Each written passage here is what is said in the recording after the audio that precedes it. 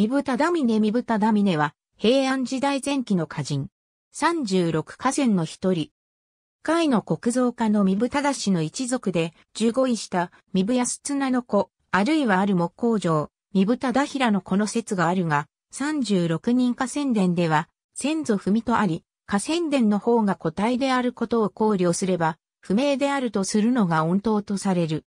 子に同じく36河川の一人である、身分忠美がいる。身分の低い下級部官であったが、歌人としては一流と称されており、古今和歌集の選者として抜擢された。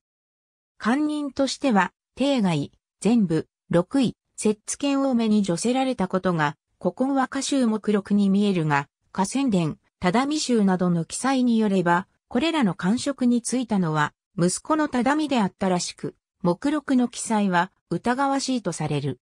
確実なのは、古今和歌集、金城、はじめ、諸資料に見える、エモン不正への任官だけである。また、大和物語によると、藤原帝国の随身であったという。後世、藤原帝家、藤原家高から、古今和歌集の和歌の中でも秀逸であると作風を評価されている。藤原金刀の表した和歌句本では、常盆上という最高位の霊歌として、忠峰の歌が挙げられている。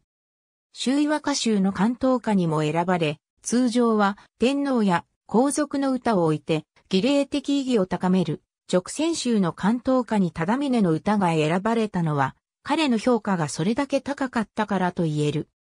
また、科学書として和歌十種を表したとされるが、近時は10世紀後半以降、周囲和歌集成立の頃に、忠峰に固くされて作られたものと見る説が有力である。